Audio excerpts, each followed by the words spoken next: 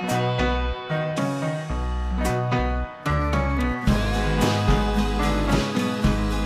ัสดีค่ะเพื่อนๆ กลับมาพบกับช่องแค่เลยชาแนลอีกตามเคยนะคะ วันนี้แค่เลยมีเมนูแซ่บๆ ต้มยำโป๊ะแตกทะเลน้ำใส มาฝากเพื่อนๆกันค่ะ วิธีทำง่ายๆนะคะ เดี๋ยวตามแค่เลยมาลงมือทำกันเลยดีกว่าค่ะ ก่อนอื่นนะคะ ให้เพื่อนๆ เตรียมเครื่องต้มยำก่อนค่ะ เครื่องต้มยำนะคะ ก็จะมีข่า ตะไคร้ ใบมะกรูดค่ะ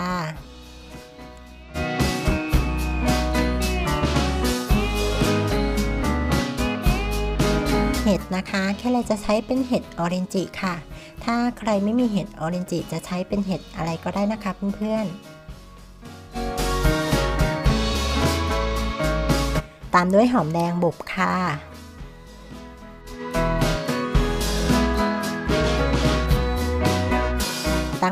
นะคะ ใส่เครื่องต้มยำที่เราเตรียมไว้ลงไปเลยค่ะ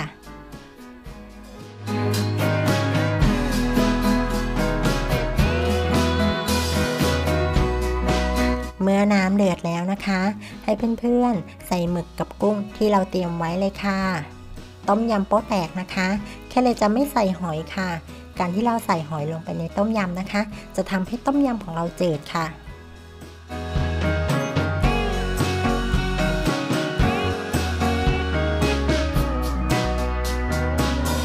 หลังจากนั้นนะคะ ก็ตามด้วยเห็ดออเรนจิค่ะ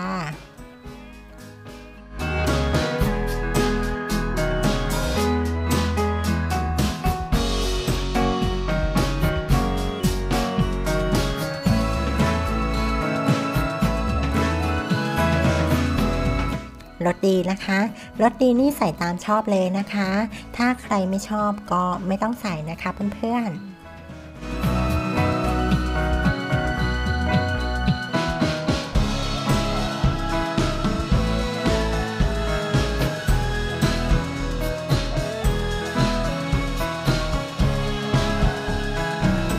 น้ำปลาค่ะ น้ำปลาแค่เลยใช้ทั้งหมด 2 ทัพพีนะคะ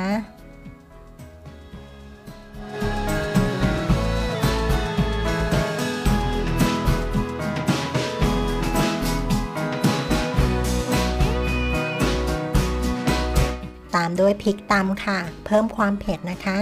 พริกนี้แค่เลยจะใช้เป็นพริกขี้หนูนะคะตำผสมกับพริกชี้ฟ้าค่ะ ความเผ็ดนี้สามารถปรับได้ตามชอบเลยนะคะ นี่ค่ะเมื่อเดือดนะคะ ก่อนจะยกลงให้เพื่อนๆใส่ใบกะเพราลงไปค่ะ เมื่อใส่ใบกะเพราลงไปแล้วนะคะ คน 2-3 ทีก็ยกลงได้เลยค่ะเสร็จแล้วนะคะ ต้มยำโป๊ะแตกทะเลค่ะ ก่อนจะตักเสิร์ฟนะคะให้เพื่อนๆใส่น้ำมะนาวลงไปค่ะ น้ำมะนาวแค่เลยใช้ทั้งหมด 2 ทัพพีครึ่งนะคะ น้ำมะนาวให้เพื่อนๆยกลงมาเติมข้างนอกนะคะ อย่าใส่ตอนที่เขากำลังเดือดนะคะ เพราะว่าจะทำให้ต้มยำโป๊ะแตกของเราขมได้ค่ะ ถ้าเพื่อนๆคนไหนชอบคลิปนี้นะคะ ทั้งเพื่อนเก่าและเพื่อนใหม่นะคะ ที่ยังไม่ได้กดติดตามให้แค่เลยนะ ก็ฝากกดติดตาม